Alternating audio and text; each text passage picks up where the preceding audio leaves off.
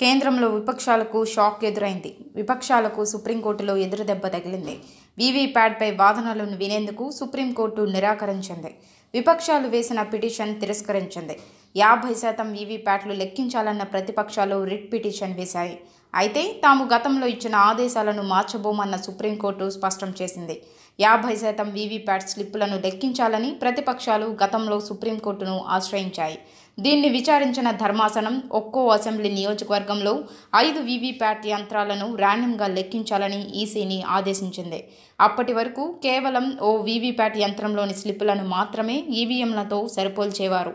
అయితే ఈ ఆదేశాలపై సంతృప్తి చెందని ప్రతిపక్షాలు ఈ సంఖ్యను యాభై శాతానికి పెంచాలని డిమాండ్ చేస్తూ మరోసారి సుప్రీం మెట్లు ఎక్కినప్పటికీ ఫలితం లేకుండా పోయింది.